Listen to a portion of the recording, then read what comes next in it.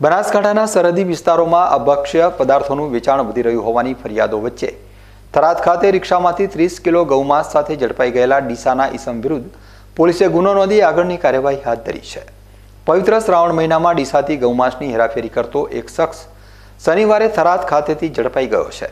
ડીસાથી માંસ ભરેલી બે રિક્ષાઓ થરાદ તરફ આવતી હોવાની બાતમીના પગલે થરાદના જીવદયા પ્રેમીઓ નરેશભાઈ, ઉત્તમભાઈ, જગદીશભાઈ વગેરેએ ડીસા હાઈવે ઉપર મલુપુર હેલિપેડ પાસે વોચ ગોઠવી નંબર વગરની એક શંકાસ્પદ રિક્ષાને આંતરી ચાલકની પૂછપરછ કરતા. તેણે પોતે ડીસાની ગવાડી વિસ્તારનો વાસીફ શોકતભાઈ કુરેશી હોવાનું અને પોતાની રિક્ષામાં ત્રીસ કિલો માંસ હોવાની કબૂલાત કરી હતી.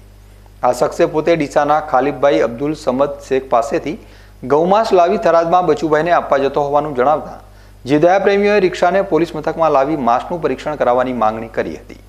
જેથી પોલીસે કાર્યવાહી કરી આ ગૌમાંસને પરીક્ષણ અર્થે ગાંધીનગર ખાતે ડાયરેક્ટોરેટ ઓફ ફોરેન્સિક સાયન્સ યુનિટમાં મોકલી આપ્યું હતું. જ્યારે ચીફ ઓફિસરને પત્ર લખી બાકીના જથ્થાનો નાશ કરાવી રિક્ષા કબજે લઈ કાર્યવાહી હાથ ધરી હતી. ગાંધીનગર ખાતે કરાયેલ પરીક્ષણ અહેવાલમાં પણ આ જથ્થો ગૌવંશનો હોવાનું સાબિત થયું હોવાના અહેવાલો મળ્યા છે.